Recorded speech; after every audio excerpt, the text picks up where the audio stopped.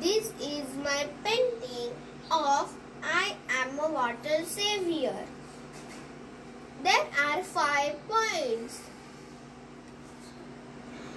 First, how I am a water savior.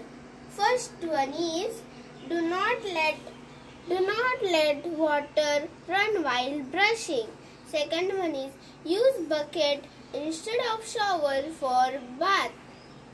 Use water for watering plants. Use water cans for watering plants. Use water saving technology like washing machine, dishwasher.